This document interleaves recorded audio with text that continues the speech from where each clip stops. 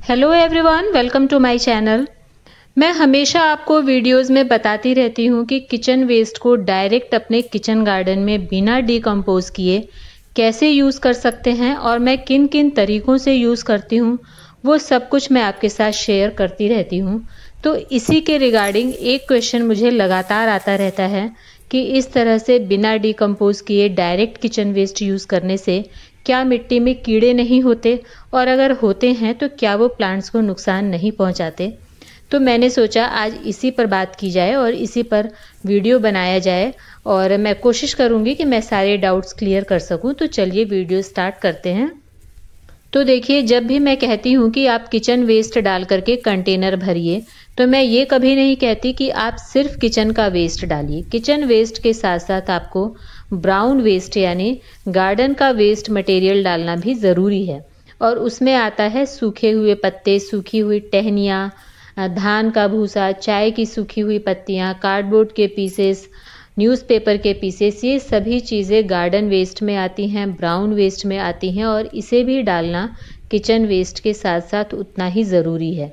क्योंकि kitchen waste में होता है नाइट्रोजन वो ग्रीन कहलाता है और ब्राउन वेस्ट में होता है कार्बन और ना, नाइट्रोजन और कार्बन दोनों का होना बहुत ज़रूरी है और इसके साथ साथ हमें डालनी है थोड़ी थोड़ी मिट्टी बीच बीच में, क्योंकि मिट्टी में माइक्रोब्स होते हैं। और इन तीनों चीज़ों का हमें कॉम्बिनेशन बनाना है, उसी से डिकम्पोज होने का काम होगा। तो देखिए किचन वेस्ट और ब्राउन वेस्ट हमें ज़्यादा डालना है और मिट्टी हमें कम डालनी है और इस तरह करके हमें कंटेनर ऊपर तक भर लेना है और ऊपर की लेयर में हमें मिट्टी की तीन चार इंच मोटी लेयर लगानी है और उसके बाद उसके ऊपर हम डायरेक्ट प्लांट लगा देंगे। डिकम्पोज होने का वेट नहीं करेंगे। अब तो देखिए, मिट्टी की लेयर के नीचे जब कंपोस्टिंग का काम स्टार्ट होगा तो कीड़े तो होते ही होंगे। वैसे मैंने मिट्टी हटा करके कभी चेक नहीं किया है, लेकिन अगर होते भी होंगे तो देखिए, पौधों को कोई नुकसान नहीं होता है। ये मैं इसलिए कह रही हूँ क्योंकि मैं कई सालों से ये काम कर रही हूँ और मेरे पौधों को कभी कोई नुकसान नहीं हुआ है, इसलिए मैं आपको ये बात शेयर करती रहती हूँ क्योंकि मैं कंफर्म हूँ कि इससे कोई नुकसान नहीं होता है। सामने आप देखिए ये बाल्टी देख रहे हैं और इसे मैंने कैसे भरा था, ये मैंने वीडियो में बताया है आपको। ऊपर मैं आई बटन पर लिंक दे रही हूँ और आप चेक कर सकते हैं और देखिए मैंने इसमें मिर्ची के प्लांट्स लगाए हैं। और मैं आपको अपडेट्स इस मिर्ची के पौधे की देती रहूँगी कि ये किस तरह से ग्रो करेंगे।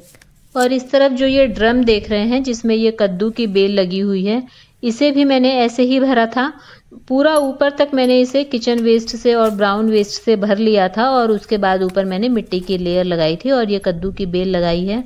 और देख लीजिए, इसमें कद्दू एक लगा हुआ है, बहुत हेल्दी बेल थी ये। और इसमें से एक कद्दू मैं हार्वेस्ट भी कर चुकी हूँ। और मेरे ज़्यादातर कंटेनर्स को मैं इसी तरह से तैयार करती हूँ। और जो मेरे पुराने कंटेनर्स होते हैं, जिसमें ऑलरेडी मिट्टी भरी हुई है, उसमें एक फ़सल होने के बाद मैं पौधे निकाल करके, ऊपर की थोड़ी सी मिट्टी निकाल करके, नीचे की तरफ़ मैं किचन वेस्ट और ब्राउन वेस्ट की एक लेयर डाल करके और ऊपर से फिर से मिट्टी बिछा करके पौधे लगाती हूँ। और ये सवाल पहले मेरे मन में भी आता था कि इस तरह करने से कीड़े हो जाएँगे और ये पौधे को नुकसान पहुंचाएँगे। लेकिन मैंने कई बार ट्राई किया है और जब मैंने देखा कि किसी तरह से कोई नुकसान नहीं पहुँचता है और बहुत अच्छे प्लांट्स ग्रो होते हैं, उसके बाद ही मैंने ये आपके साथ शेयर किया है।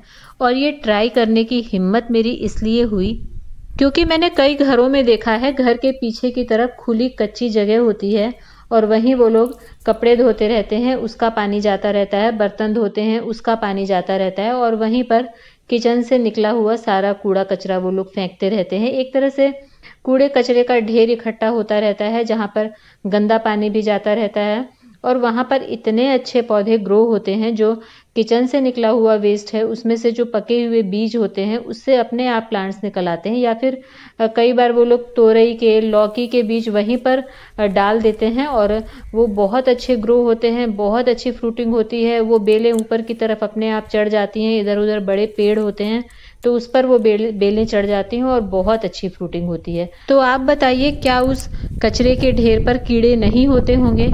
जबकि हम जो किचन वेस्ट डाल रहे हैं, जबकि हमें पता है कि हमें उसे गमलों में डालने हैं, डालना है तो हम बड़ा साफ़ सुथरा सा सब्जियों का छिलका ले जा करके फलों का छिलका ले जा करके डालते हैं। उसमें कुछ भी जूठा नहीं होता है। तो जो वो कचरे का ढेर है, उससे तो बहुत ज़्यादा सफ़ाई रहती है। तो मुझे लगा कि जब यहाँ पर इतने अच्छे प्लांट्स ग्रो हो रहे हैं तो हमारे कंटेनर्स में क्यों नहीं हो सकते? जबकि वहाँ पर वो लोग कोई एक्स्ट्रा खाद नहीं दे रहे हैं। हाँ ये अंतर ज़रूर है कि वो पौधे ज़मीन पर लगे हुए हैं और हमारे कंटेनर्स में हैं तो लिमिटेड स्पेस है तो हमें अलग से खाद भी देनी पड़ती है एक्स्ट्रा केयर भी करनी पड़ती है। लेकिन हाँ कीड़े होंगे और उससे पौधे ख़राब होंगे, ये मेरा डर कम हुआ और मैंने ट्राई करके देखा और मुझे बहुत अच्छे रिजल्ट्स मिले। और अब तो मुझे लगता है जैसे इसके बिना अब मेरी गार्डनिंग पॉसिबल ही नहीं है, क्योंकि अब धीरे धीरे कंटेनर्स बढ़ गए हैं और जब भी मैं कंटेनर तैयार करूँगी और मैं चाहूँ उसमें ट्वेंटी थर्टी परसेंट गोबर की खाद मिलाऊं तो वो मेरे लिए पॉसिबल नहीं है, क्योंकि इतनी खाद मुझे नहीं मिलती है। तो मैं किचन वेस्ट ही मिला करके कंटेनर तैयार कर लेती हूँ।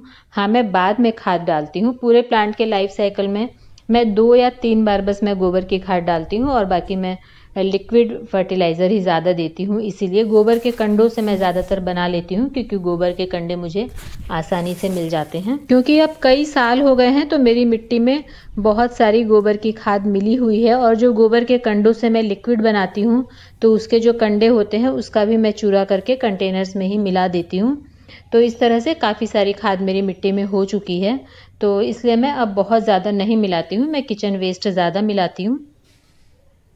और किचन वेस्ट से कई तरह के माइक्रो और मैक्रो न्यूट्रिएंट्स भी पौधों को मिल जाते हैं, जो शायद सिर्फ़ गोबर खाद से नहीं मिल पाते। क्योंकि मेरी गार्डनिंग सिर्फ़ गोबर की खाद किचन वेस्ट और सरसों की खली पर निर्भर है, और मुझे किसी भी तरह की पौधों में कमी नज़र नहीं आती है। फ्रूटिंग आप देखते ही हैं हार्वेस्टिंग वीडियोज़ में। इसके अलावा मैंने कभी कोई और फर्टिलाइज़र मार्केट से लेकर के पौधों के लिए यूज़ नहीं किया है। तो आप भी बिना डरे अपने गार्डन में किचन का वेस्ट डायरेक्ट यूज़ कर सकते हैं। बस आपको ये ध्यान रखना है कि किचन वेस्ट के साथ साथ आप ब्राउन वेस्ट भी डालिए, थोड़ी मिट्टी भी डालिए। इन तीनों का कॉम्बिनेशन बनाने के बाद आप ऊपर से मिट्टी की लेयर से इसे ढक दीजिए। मिट्टी की लेयर में आप गोबर की खाद भी मिला सकते हैं और उसके बाद आप पौधे लगाइए। तो आपके पौधे बहुत अच्छे ग्रो होंगे। मैं अब खाद नहीं मिलाती हूँ, क्योंकि मेरी मिट्टी में खाद मिली हुई है, और अगर आपकी मिट्टी नहीं है तो आप उसमें गोबर की खाद भी थोड़ी सी ज़रूर मिला लीजिए टॉप लेयर में। और इसके बाद भी अगर आपको डर है तो आप मेरी बात भी मत मानिए। आप पहले एक दो कंटेनर्स में ट्राई कीजिए। एक दो बार आप ट्राई करेंगे तो आपको खुद ब खुद पता चल जाएगा कि ये कैसे काम करता है, और आप खुद सीख जाएँगे कि आपको कैसे मिलाना है, क्या करना है। तो बस करके देखिए और सीखिए। तो आज के लिए इतना ही। उम्मीद है वीडियो पसंद आई होगी, डाउट्स क्लियर हुए होंगे। और अगर पसंद आती है, ज़रा भी हेल्पफुल लगती है तो लाइक कीजिए, चैनल को सब्सक्राइब कीजिए। मिलते हैं नेक्स्ट वीडियो में। Thank you.